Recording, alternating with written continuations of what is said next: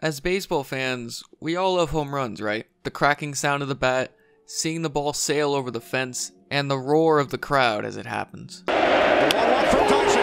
Bautista with a drive. Deep left field. No doubt about it. It's truly one of baseball's greatest sights. One swing of the bat can truly change everything. This season, however, we have seen the long ball more times than ever. Heading into the All Star break, the league has hit a total of 3,691 home runs, meaning the projected number of total home runs by the end of this season is a staggering 6,668 home runs. What is the record number of home runs hit in the season, you ask? 6,105, which was set in 2017. Interestingly, the total number of home runs hit in 2018 was 5,585. Personally, I think it's more remarkable that the projected number of home runs this season is over 1,000 more than the total last season. So, What's going on? Well, accusations that the ball is changing are nothing new. There were claims that the seams in the ball had been lowered, which caused a drastic increase in blister problems with many pitchers. Johnny Cueto had never experienced problems with blisters, but he believed a tighter ball was the cause for his blisters in 2017. Recently, accusations have come out that are potentially far more damaging than some blisters. Justin Verlander had accused the MLB of juicing baseballs to favor offensive production. He had some harsh words for the league, saying it's a joke. Major League Baseball's turning this game into a joke. Verlander had more to say, which I will get into later. So, what can we take away from these numbers and Verlander's accusations? Is the league trying to increase offensive production to the detriment of their best pitchers? Well, let's start with some context.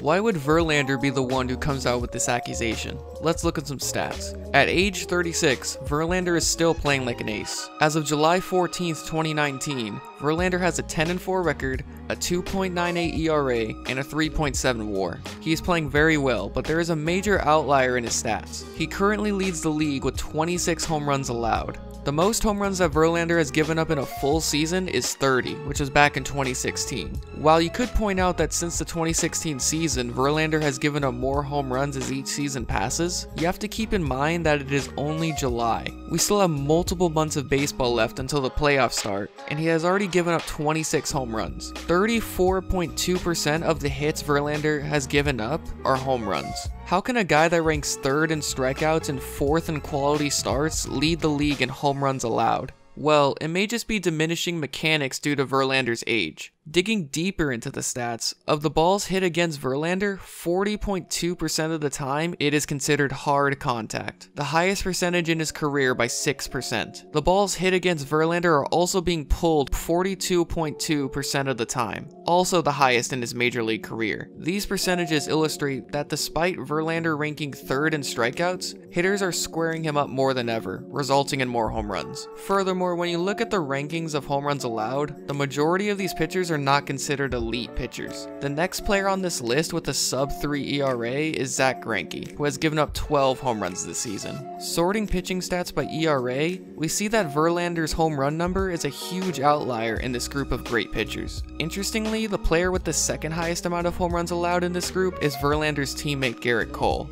So that is something to think about. While this stat is an anomaly for Verlander, no other elite pitcher seems to be having the problems that he is experiencing, at least at the magnitude of Verlander. So is that case closed? Well, no. This is just Verlander. This doesn't answer the underlying question. Why have home run numbers spiked so much? Verlander had more to say. They own Rawlings, and you've got Manfred up here saying it might be the way they center the pill. They own the company. If any other $40 billion company bought out a $400 million company and the product changed dramatically, it's not a guess as to what happened. We all know what happened. Manfred, the first time he came in, what did he say? He said we want more offense. All of a sudden he comes in, the balls are juice. It's not a coincidence. We're not idiots. Basically, Verlander says that there's a correlation with Rob Manfred becoming commissioner and home run numbers skyrocketing. How true is this claim? Well, let's look at some more numbers. Rob Manfred became commissioner on January 25th, 2015. Since the peak of the steroid era around the late 90s to early 2000s, home run numbers have been steadily dropping. The lowest these numbers had reached in the new millennium were 2014, the year before Manfred became commissioner. Since the 2015 season, home run numbers have increased tremendously. In the span from 2014 to 2017, home runs increased by 45.8%.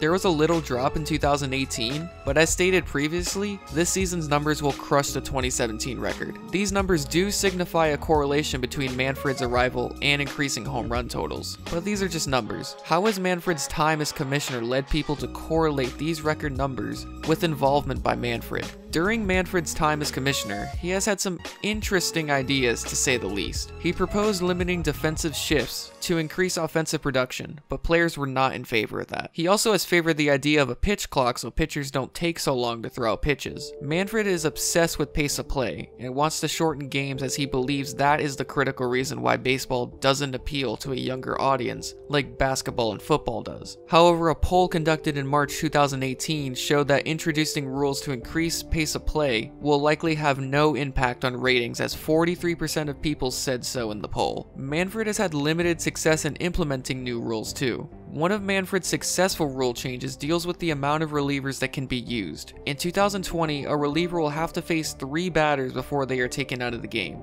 This was done to decrease mound visits to speed up games. So it can be established that Manfred favors increased offensive production and has the ideas to do so. The problem he faces is the implementation of these new rules. So what if he just bypasses the player union and implements his ideas? Which Verlander might be suggesting with his comments. Something we can't overlook is that MLB now owns Rawlings, the company that produces the most important tool for the sport, the baseball. MLB baseballs are made in the Rawlings facility in Costa Rica. However, baseballs that are made for minor leagues are made in China. Why is this important? Well, these balls are made with slightly different materials, meaning they carry differently when they are hit. This year in AAA, they decided to switch to the MLB ball rather than the standard minor league ball. Keep in mind that AAA baseball is already renowned for its hitter-friendly environment. We're only halfway through the season, and just like the major leagues, home run records are projected to be shattered by the end of the season. Last season, AAA hitters hit home runs every 43 appearances. That number has dropped to once every 32 plate appearances. And looking at the rest of the minors who are still using the minor league ball, early season numbers are consistent to last season. So, we now have two different environments that display how this MLB ball is contributing to increasing home run numbers. But how can the ball be responsible? And how is Manfred responsible? Rob Arthur and Tim Dix of 538 wrote an article detailing the findings of X-rayed baseballs from different seasons. I highly recommend you check it out. Research performed by the Kent School of Medicine, which was commissioned by ESPN Sports Science, found that baseballs used after the 2015 All-Star Game have a somewhat less dense core than the baseball used beforehand. The newer cores weigh about half a gram less than the old ones. However, this alone is not enough to explain the ever-increasing home run totals. But this does not tell the whole story. There were many findings with the balls used after the 2015 All-Star Game. Ben Lindbergh wrote an article for The Ringer that showcases these findings. Mitchel Lichtman, the co-author of the article, bought 36 MLB game-used baseballs and sent them to the sports science lab at Washington State University. The findings showed that balls used in 2016 had lower circumferences and seam heights, and the bounciness of the balls was higher. The calculations showed that the average amount of feet added to distance after the ball is hit was about 7.1 feet. Also, the results showed a 1.43 miles an hour increase in exit speed. This may not sound like much, but early calculations showed that an increase of about 1.5 miles an hour in exit speed would lead to a dramatic change in home runs. This means that the new balls are able to be hit higher, further, and harder. Some hitters have started intentionally trying to hit the ball in the air more, which is definitely a factor in these home run numbers. But the ball itself may be benefiting hitters that are trying to hit the ball in the air more than ever before. Analysis by Arthur shows that balls hit with the same exit velocities and launch angles were much more likely to become home runs in 2016 than in 2015, suggesting that their air resistance might have decreased. But let's go back to Arthur's article and look at the baseballs themselves. These experiments are the same ones commissioned by ESPN Sports Science. This is what the layers of the baseball look like. The cowhide shell, the yarn, and the cork and rubber core. These are the x-rays of the balls in separate groups by year. Instantly, you can see how the balls from 2016 to 2017 seem to be less dense in the yarn layer. There seems to be more pockets of space compared to older balls. The article points out something different, however.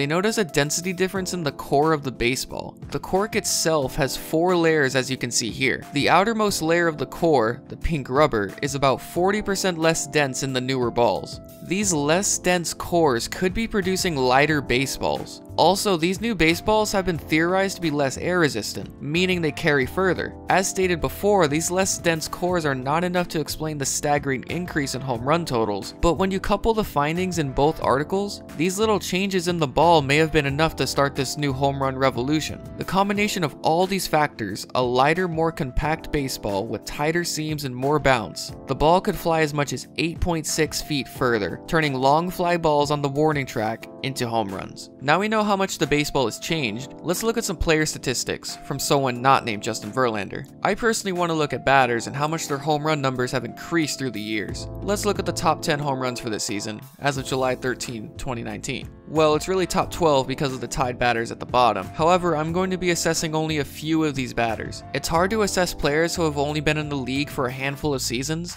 and or have presumably not hit their prime yet, like Cody Bellinger and Josh Bell. So we will be looking at six players. Trout, Yelich, Encarnacion, Soler, Moustakas, and Bruce. A commonality with all of these players is that they are all on pace to have home run totals that are on par or will exceed their career best. StatCast has only been around since 2015, so for someone like Encarnacion, we don't know if he has had better numbers earlier in his career. But looking at these six players, they are all experiencing career highs or near career highs in exit velocity, launch angle, home runs per plate appearance, and hard hit percentage. All of these numbers tell the story as to why home run numbers have been increasing for all of these six players. Sure, it is only July, so some of these StatCast numbers may drop by the end of the season, but these numbers are still remarkable. If the balls were juiced like Justin Verlander said, then home runs would be hit every inning. What this shows is that the players are aware that the ball is changed to their advantage, so they are able to approach their at-bats differently. Is this unfair to the pitchers? This is what the real argument is in my opinion. They are now using a ball that is more susceptible to carry further in the air, and because the seams have presumably been lowered, this may cause pitchers to have to pitch differently or have to experience blister issues like Johnny Cueto. Jacob deGrom said in response to Verlander's comments, I'm not going to disagree with him. I think that's what they thought fans would wanted to see. So if that was the case, I guess it's not bad for the game. But as a pitcher, I don't think any of us like giving up home runs. This seems to be more of an issue of transparency for pitchers rather than MLB trying to overproduce runs. In 2015, Charlie Morton said, if the ball's different and intentionally different, I guess the one thing I would ask is just some transparency. If the league is trying to do something different and get a different result with balls in play, I think for history's sake and for the integrity of the game that there would be transparency. All-star hitter JD Martinez believes what the data shown in this video seems to suggest. As the velocity of pitchers increased, the control of these pitches decreased. JD says it's either a walk or a strikeout. Stuff over command. I think you see a lot more mistakes over the plate. The velocity, the guys trying to hit the ball in the air, I think it's a recipe for home runs. For a guy like Justin Verlander, who is now 36 but still throws up in the high 90s, control can become an issue. So even though he still is getting lots of strikeouts, he may be throwing more mistake pitches than ever before, because his velocity is a big key to his success. So, with all this information that has been put forward, what do we do with it? Well, the 538 article summed up my thoughts perfectly. According to Nathan's calculations, this would lead to a more than 25% increase in the number of home runs. This is in reference to prior calculations displaying that these new balls can add as much as 8.6 feet to the distance. In actuality, home runs spiked by about 46% between 2014 and 2017, which means that the changes to the ball could account for more than half of the increase. The remainder could be reasonably chalked up to a philosophical shift among MLB players, who are likely swinging upward to maximize the number of balls they hit in the air, and are not shy about the increase in strikeouts that may come with that approach. So, are the baseballs juiced? Not necessarily. The balls are not shown to be filled up with some chemical that allows players to hit home runs with ease. What we do know is that the changes to the balls have allowed players to approach hitting in new ways that allows them to hit the balls higher, harder, and further. Were these changes to the ball deliberate? Is Rob Manfred and his quest for higher ratings through pace of play to blame? I'm not sure if I can definitively determine that, but we can see how much the new ball has affected how players are playing the game. It's really up to the fans on whether they favor increased offensive production, despite the detriment it may have to quality pitching, and even to the sport of baseball as a whole. Thanks for watching.